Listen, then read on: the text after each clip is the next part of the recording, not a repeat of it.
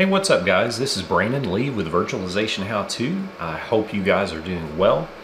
And by far, one of the biggest cybersecurity news in the past couple of months is the Log4j vulnerability. It affects such a wide range of products. But today we're going to look at how to specifically remediate or mitigate uh, the Log4j vulnerability in a VMware Horizon connection server. So stick around and we're going to walk through those steps.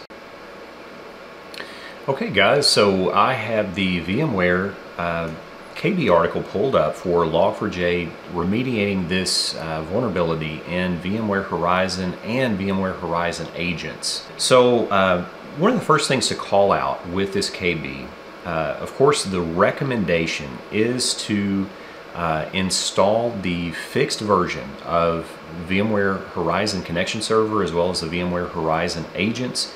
However, if you cannot, uh, for whatever reason, uh, install that fixed version, if you're tied to a specific version at this point in time, uh, there is a workaround, a mitigation. Specifically, we're going to uh, talk about the Horizon Connection Server in this video.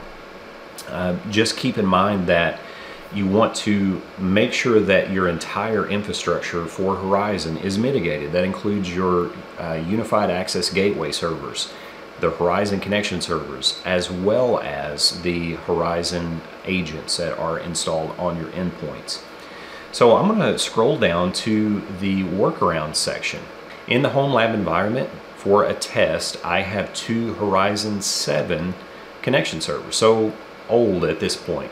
The steps are the same for Horizon 7 as they are for Horizon 8. The first thing call out to in the workaround section is to remove the web access component from your Horizon connection servers. Because actually on the connection server, the web access component is where the vulnerability exists. So if we remove the web access component as well as the underlying jar files that actually have the log4j vulnerability, then we can successfully mitigate for this particular uh, vulnerability and against any attack against it. If we scroll all the way up, there are two attachments. So I'm going to download the um, Horizon Windows. I'm going to then copy uh, that zip file archive that has the, the mitigation script onto my Horizon connection servers. Now the first thing I would do is take a snapshot.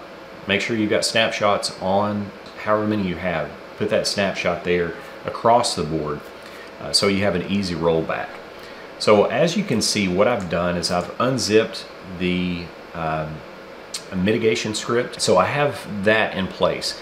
But the first thing that we're going to do is manually uninstall the web access component from our Horizon connection servers. The first thing that you do, we're going to go to programs and features and we are going to select to remove the Horizon 7 components on our Horizon connection server. Now this may seem a little bit scary, but what we're going to do is we're going to leave the AD LDS instance uh, as an installed component. So we're simply just going in, we're going to remove both the connection server and HTML access uh, components. So that's what I'm going to do. I'm going to kick this off and I'm going to say continue. Make sure you want to uninstall. And this typically does not take much time. And in fact, uh, one of the interesting things that uh, VMware notes, do not bring down any connection server. Keep them all running and follow this procedure on each of them one at a time. A reboot is not needed and should not be done. So it's actually a pretty simple process. So we're going to just simply step through the uninstallation of the components. I'm going to remove both of those, uh, connection server and the web access. And then what I'm going to do is just simply turn around and reinstall the connection server without the web access components. And the rest is very straightforward. We're just going to simply next here, accept the EULA, program group, and the most important part of this reinstallation is unchecking install HTML access. Again, this is where the vulnerability exists. And if you noted, regardless of whether this was initially installed as a replica server, the instructions on the KB tell us to install a standard server. So that's what we're going to do. Standard server, next. Again, no HTML access. And this box is to be expected. Uh, in fact, if you look at the KB, uh, it basically says a dialog box will pop up, at least one directory services instance already exists on the system. And that's what we saw. And it just simply says to click OK. So we're going to click OK, we're going to simply next through our normal installation screens and then we're going to just simply let the installer do what it normally does and what we had already installed on the system uh, previously.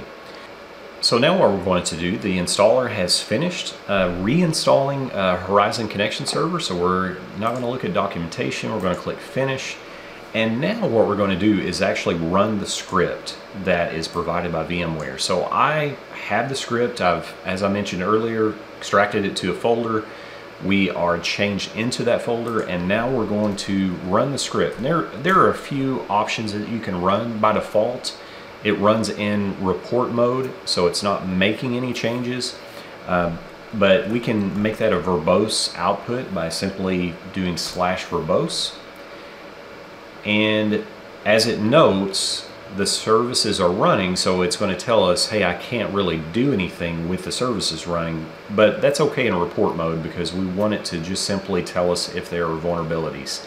What we're going to do now is we are going to go to services and we will stop the uh, VMware connection server service. So I'm going to expand this out so you guys can see. I'm going to stop the service and we must stop the service for the script to actually remediate or remove uh, those jar files that exist on the system. So now we've got the um, service stopped. So now what we're going to do is we're going to go back to our script. Actually first, let me clear that out and we will back this up and we're going to use the resolve uh, switch along with verbose.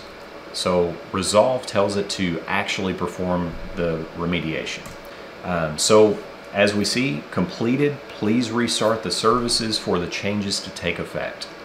So now what we simply need to do is go back to our connection server and start the service. Now what we will do uh, in an environment with more than one connection server is you want to make sure to just roll through these uh, applying the re remediations, again installing the connection server without the web access component uh, and as a standard server. And as you noted, we simply use the existing ADLDS uh, component, so it's going to just reuse that database once it is reinstalled. So hopefully this simple walkthrough of how to remediate your VMware Horizon connection servers from the Log4j vulnerability will help any who have yet to do this. And this is a very serious vulnerability to be sure to get either patched or remediated as soon as possible. Well, again, I'm Brandon Lee. I hope you've enjoyed the video. Please do like uh, the video if you found it useful. And please do subscribe to the channel. I'll see you guys soon.